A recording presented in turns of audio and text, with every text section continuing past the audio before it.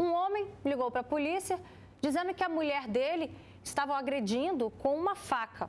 Só que na verdade a história era outra, gente. Quando a PM chegou, encontrou apenas a mulher que contou que apanhou de toalha molhada do marido, que faz o uso de drogas.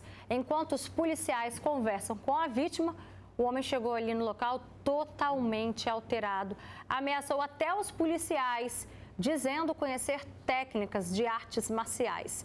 Ele reagiu à abordagem e os PMs tiveram que usar uma arma de choque para conter esse homem, tá? E não para por aí não. Uma jovem foi morta a facadas dentro de casa na Serra. Yasmin Narciso da Silva tinha 25 anos.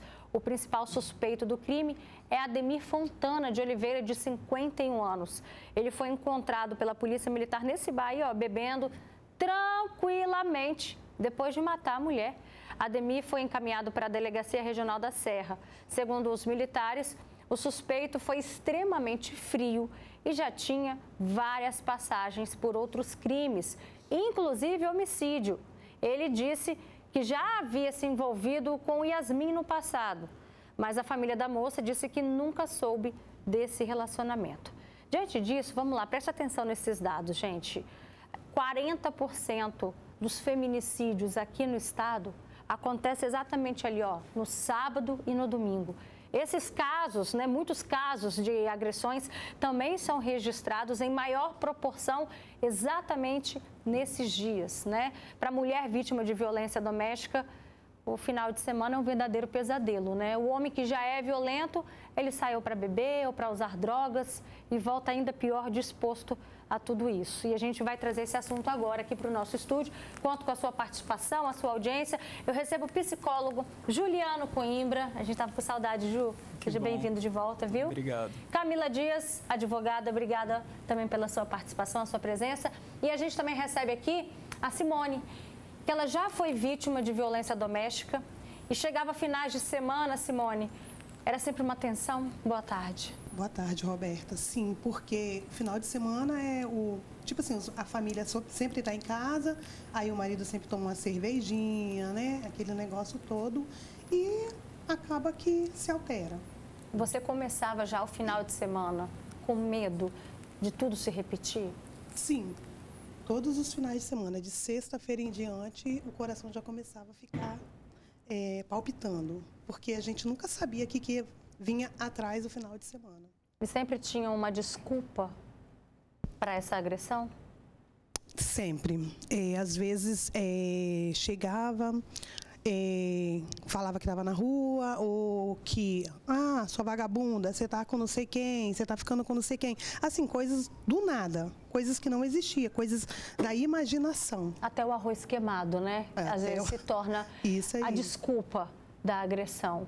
E Juliano, chega final de semana, todo mundo pensa que é o quê? Trabalhei, agora eu vou descansar, a mente vai relaxar, vou conseguir dar mais atenção para minha família, mas infelizmente para as mulheres que sofrem violência doméstica se torna o pior dia, né? Verdade, é, socialmente falando, o final de semana é um período realmente de descanso, né? É, isso é instituído desde os primórdios, né? E aí, óbvio que a sociedade evoluiu e as mulheres, muita gente acaba tendo que trabalhar final de semana, mas o costume é que a gente descanse nesses dias. Mas a pessoa que ela é codependente, ela fica ali na dependência do outro. E o fato de estar na dependência do outro, disponível para o outro, o outro ele se faz valer dessa codependência né, dessa pessoa, desse indivíduo, dessa mulher, né, e acaba entendendo que essa pessoa coloca ele num patamar muito alto e ele acaba cometendo essas agressões porque acredita que essa pessoa nunca vai abandonar. Olha Isso se torna um ciclo, um né? Um ciclo vicioso. E de fato demora até abandonar, né? Assim, porque você, depois da, da, agressão, vem a fase da lua de mel, que vocês profissionais da psicologia já vieram aqui, já contaram sim, sim. isso pra gente dessa fase. E muito mais do que isso, né, Roberta? É, as pessoas acabam é, entendendo que no meio desse processo, elas não dão conta, tem os ganhos secundários, né? A pessoa não fica com a pessoa só pelos ganhos primários, só por causa do amor. Existem os ganhos secundários, né? É, por exemplo, às vezes essa pessoa ela sai, ela maltrata, mas a pessoa, em um dado momento, ela dá o carinho, E às vezes nessa essa mulher ela faltou bases anteriores e o pouco que essa pessoa dá, essa migalha que as pessoas dão, ela acaba se apegando, né? Porque elas não estão acostumadas a receber nada e elas ganham alguma coisa. E até tomada de consciência chegar, essa pessoa aceita qualquer coisa. Isso é muito triste, porque essa pessoa esquece de se valorizar. Elas esquecem do processo de autovalorização e fica focada apenas naquela migalha. Agora, Camila, esses dois casos que nós trouxemos aqui para abrir esse assunto, um que aconteceu na Praia da Costa, o outro que aconteceu na Serra, isso mostra que a violência doméstica não tem classe social, que acontece desde mulheres em situações mais humildes ou até mesmo de alto padrão. A gente vê que ela se repete, as histórias se repetem e de maneiras muito parecidas, né? Isso. É, infelizmente, a gente está aqui falando mais uma vez né, sobre isso, mas ao mesmo tempo é muito bom a gente mostrar para desmistificar esse padrão né, social que às vezes a gente acaba acreditando. Né? A maioria são as mulheres em situação de vulnerabilidade negras, né? mas a violência contra a mulher está em todos os lugares, em todas as classes, níveis, cores, é, gênero, gênero não, cores. E a gente fica pensando, mas, mas a mulher, ela, será que ela é dependente? Às vezes a gente usa essa desculpa que é real, não é uma desculpa, né? É um, é um fato. A mulher, ela depende financeiramente, por isso que ela continua aceitando, mas existem mulheres que são independentes financeiras, até ganham mais do que os próprios homens e ainda assim estão nesses relacionamentos violentos. Então não é só uma questão financeira. Ah, mas é porque ela precisa, porque tem vários filhos com ele, né? E às vezes ele é o responsável é, financeiro e tudo daquela casa. Existem mulheres que não têm filhos com, os, com esses homens, que são seus agressores, e essas relações relações permanecem. Então, assim, o ciclo ele é, é um ciclo longo, né? É um ciclo com muitas vertentes. Até chegar, infelizmente, a um feminicídio, a gente tem que desconstruir muita coisa, que começa lá na base, né? De um relacionamento tóxico, que começa ali com um xingamento, com um destratar, até a gente ir, ir caminhando aí em toda essa, essa linha, né? Que chega, infelizmente, ao ápice. Agora, esse caso da Serra que traz o ápice da violência contra a mulher, que é a morte, esse caso da Serra, a gente se pergunta, essa frieza desse homem, né? E o que, que ele estava fazendo solto? Se ele era um homem perigoso, ele estava solto aí há um ano, justamente por um crime que ele já tinha cometido, que era de homicídio. Né? Cadê a nossa justiça? Porque se era uma pessoa que oferecia risco à sociedade, e tanto é que oferecia que fez o que fez, por que, Camila, que a gente não vê, às vezes, a justiça conseguindo cumprir tudo que deveria? Um reincidente em homicídio, né? Que já foi dito ali na matéria. Fora outros crimes, que ele só disse que ele tem vários crimes. Então eu também fiquei aqui, né, enquanto telespectadora, eh, sem entender aí o porquê que um homem desse, com tamanha periculosidade, uma pessoa que já assassinou outro, né? E, e correndo isso, né? Infelizmente chegamos a esse ponto e agora esperamos que de fato esse homem não saia desse lugar, porque uma pessoa que é capaz de assassinar mais de uma, né? De uma já seria né, mais que o suficiente. Mas não sei né, se ele chegou a cumprir a pena, como que foi. Mas realmente é, é muito, muito triste e revoltante assistir uma matéria dessa. E aí, voltando ao foco da nossa entrevista, que são os finais de semana, né? Que a mulher vítima de violência acaba gerando aquela tensão. E na segunda-feira seguinte, como é que era para você, Simone, voltar a trabalhar, voltar à sua rotina, depois de todo o sofrimento que você passou no final de semana? Na segunda-feira é aquela, aquela, aquele sentimento, né, de, você ser incapaz, aquela, aquela angústia. Por que aconteceu aquilo? Por que, que fez isso comigo? Eu não mereço isso, né? Por que, que eu passei por isso? E igual a doutora falou, muitas das vezes assim a gente aguenta pelos filhos, pelos filhos. Eu, sinceramente, eu, Roberta, eu falo assim, eu não sei por que, que eu deixei chegar a esse ponto. Porque eu era uma pessoa muito, muito saída, muito comunicativa. E, e, eu sempre fui uma pessoa que sempre denunciei. Eu nunca tive medo, desde a minha primeira agressão, eu sempre denunciei. Mas chegou um, um certo momento que eu não sofria violência física eu sofria violência emocional, que eu acho que é a pior que existe.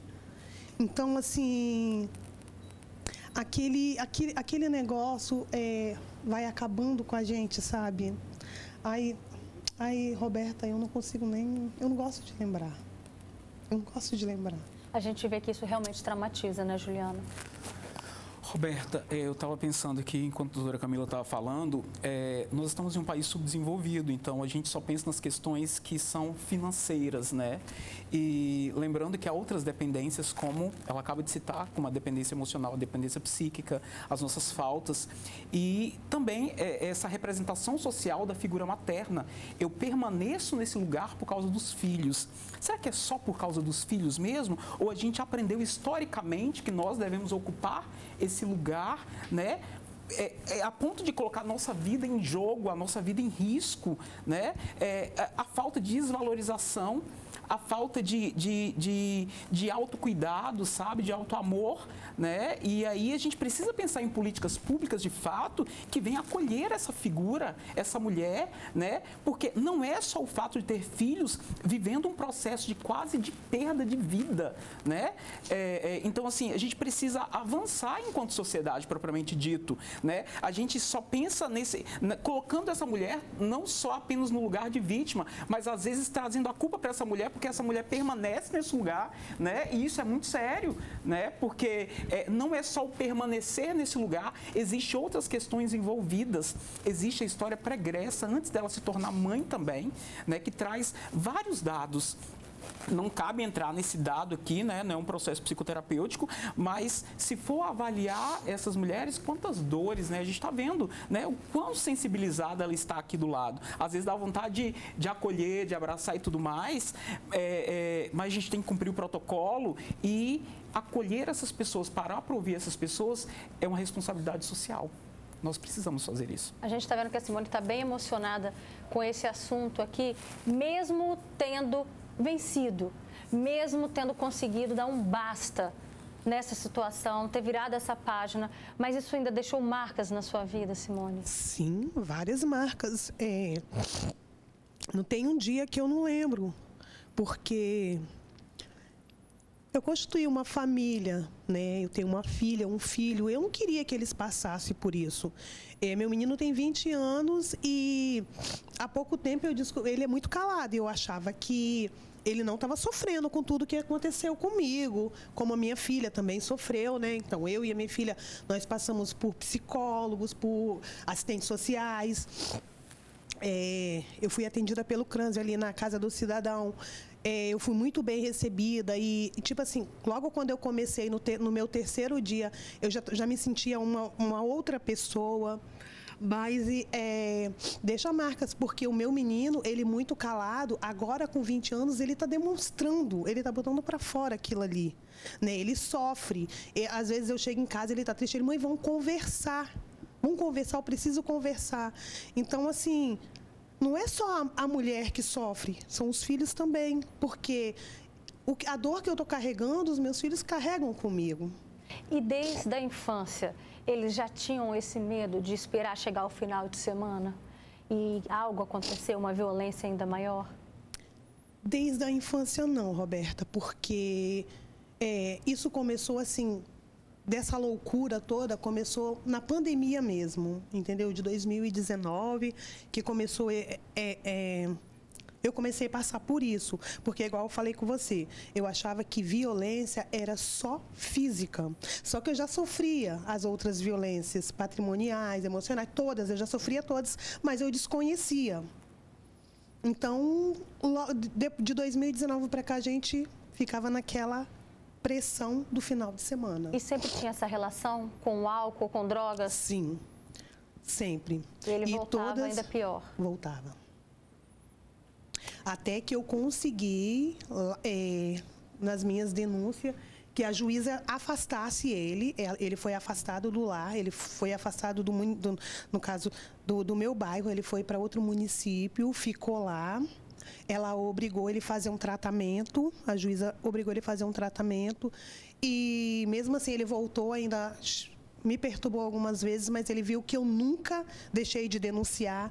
Todas as vezes eu chamava a polícia e agora ele cessou. Olha só, Camila, a gente tem um comentário aqui no nosso Facebook da Josi. Ela diz: Boa tarde, Roberta. Eu não entendo porque a Lei Maria da Penha não assusta esses homens agressores, né?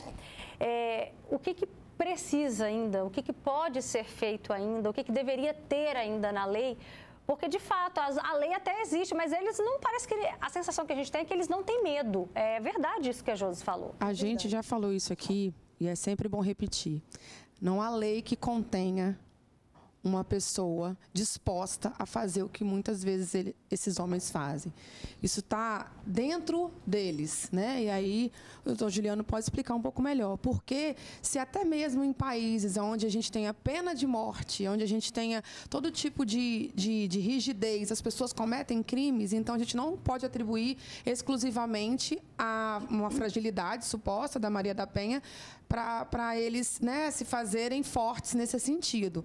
Eles cometem os crimes porque eles são agressores certo? Então, assim, a nossa lei é uma lei muito, muito ampla, uma, uma lei é, interessantíssima e tá, tem um vigor muito forte, né? A gente não pode sair a qualquer denúncia né, seja da forma desmedida que for, sair prendendo as pessoas. Então, a gente precisa de uma análise, precisa de provas. Então, assim, mas a Lei Maria da Penha está para nos proteger. Então, a gente teria que falar de muitas camadas para entender o porquê que simplesmente eles continuam.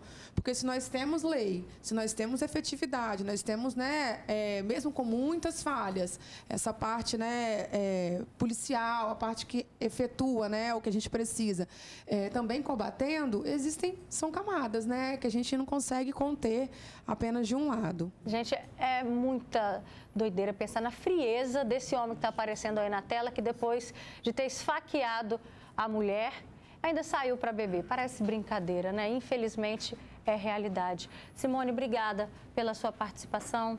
Obrigada por trazer o seu relato de coração. Ela até se emocionou com a gente aqui no estúdio, mas que sirva de alerta para outras mulheres. Juliana, obrigada também, viu, pela sua grande contribuição. Você e Camila. Boa tarde, gente.